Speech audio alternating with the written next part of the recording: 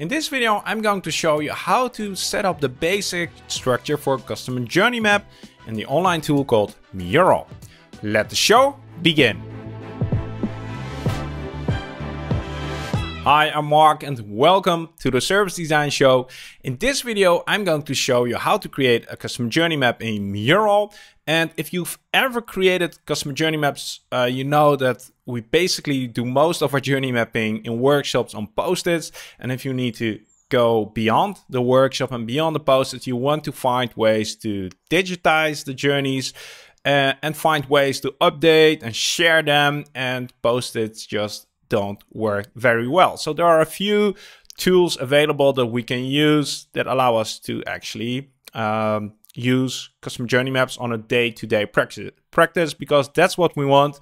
We don't want to use a map as a pretty image. We want to use it as a tool that we can use day-to-day -to, -day to drive customer-centric change.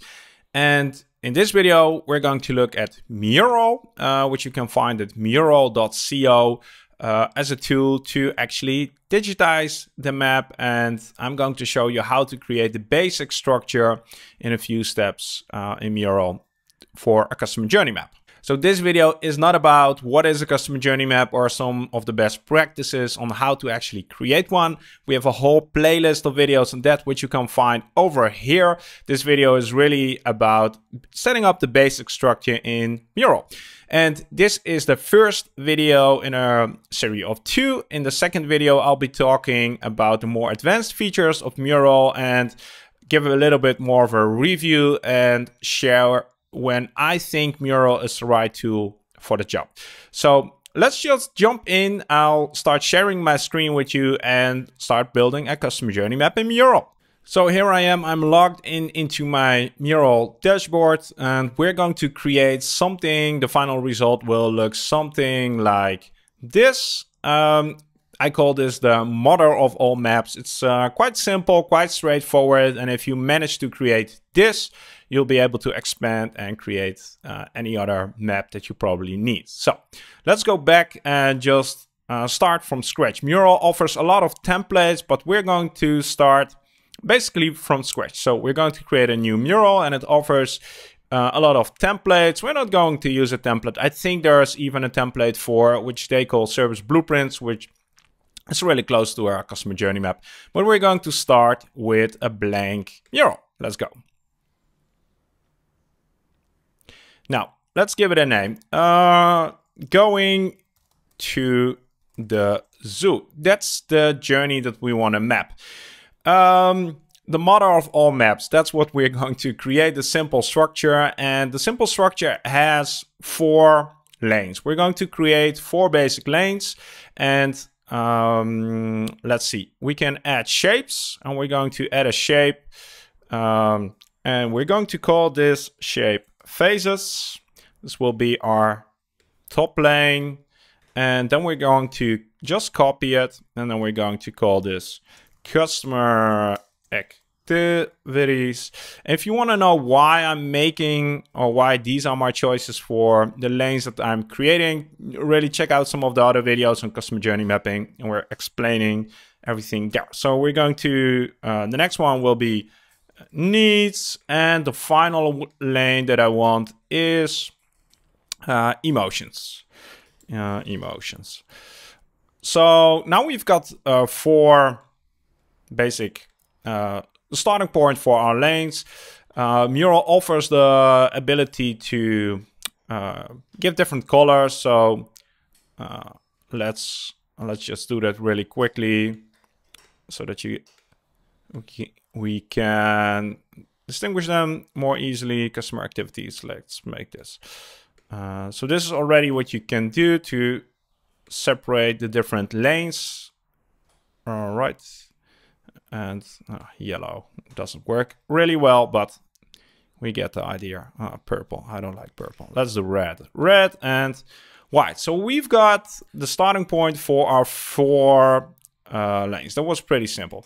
Now, the next thing we want to do is we want to add cards. We call them cards and basically cards will be uh, the things that represent what happens in the different lanes. So let's say the phase, let's do the uh, very basic. Before going to the zoo, all right, uh, at the zoo, and maybe we're going to make this really simple after. Now, um, we've got our phases lane. If we want to um, uh, distinguish it a little bit more from uh, the other ones, we could do something like, I'm going to select this. And what I like to do is add in just a box. Let's make it a little bit bigger. We'll need that in a minute. Uh, add a box and remove the outline and just give it a little gray backdrop and right click mouse and send it to back. Uh, let's change the background color to gray. So now that we have a little bit of um, uh, different, we can separate it from the other lanes a little bit more clearly. All right. So we've got our phases lane, right? And the next thing we want to do is we've added lanes, we've added cards. The next thing uh, we want to do is basically duplicate uh, some of these cards. And the easiest way I find uh, that you can do that in um, Mural is by just selecting a few of the boxes and uh, you can just uh, holding the option key on your Mac, uh, just duplicate them. Oh, come on, yeah and we rather not have the text. So let's do it like this.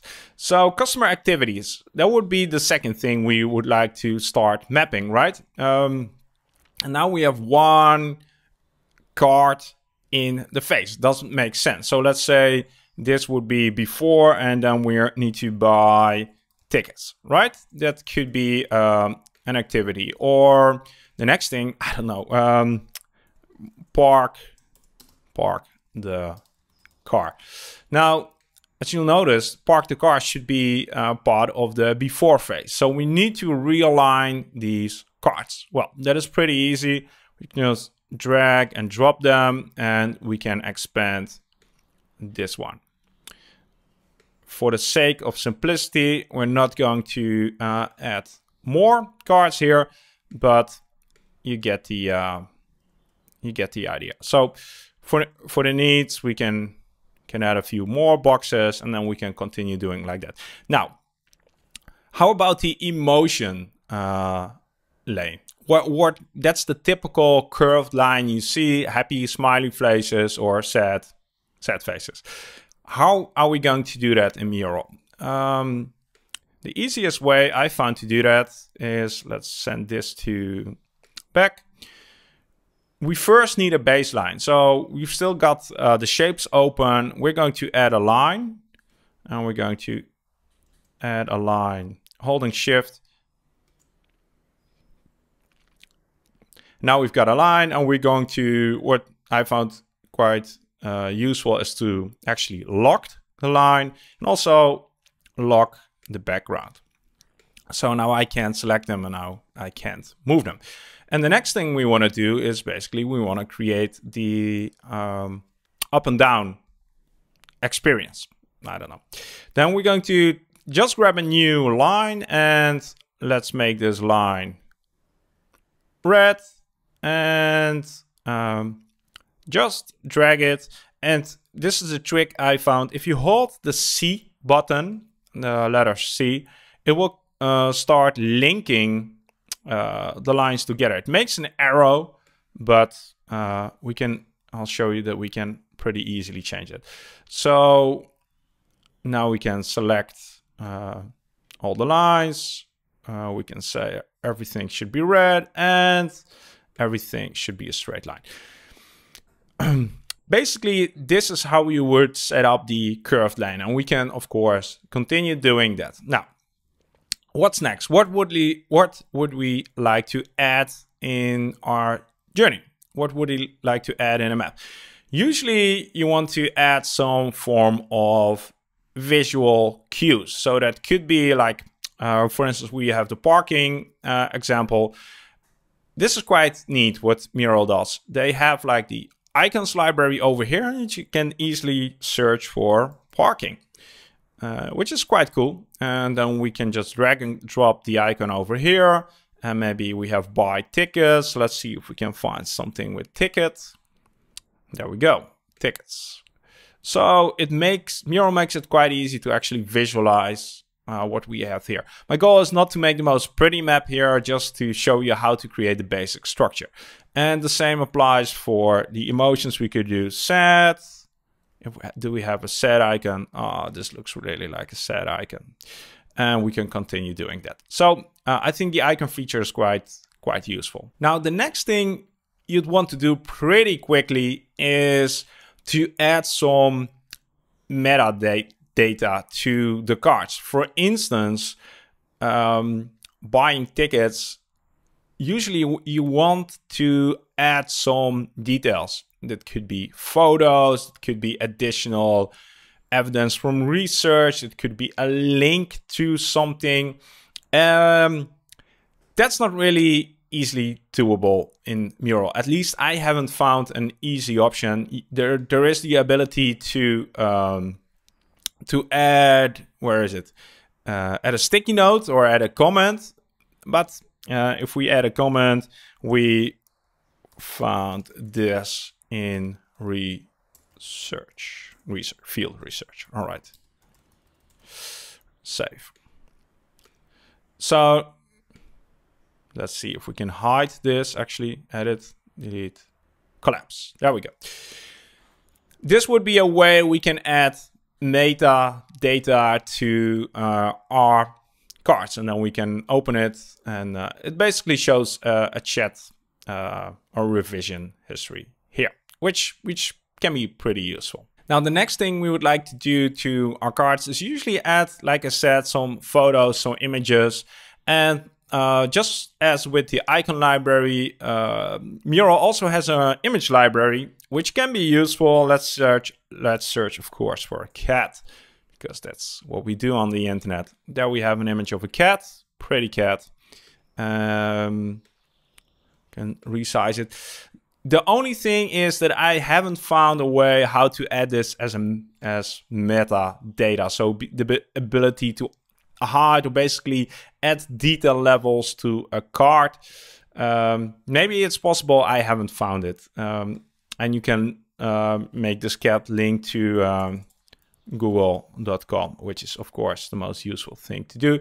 But there, it's hard to actually add a photo to to this card to attach it, uh, attach it over there. So this is it. This is how you create the most basic structure for a customer journey map in Mural. If you know how to do this, you'll be able to expand it to your specific needs. In the next video, we'll look at the more advanced features and also um, discuss if Mural is the right tool for your project. So check the video out over here and I'll see you there.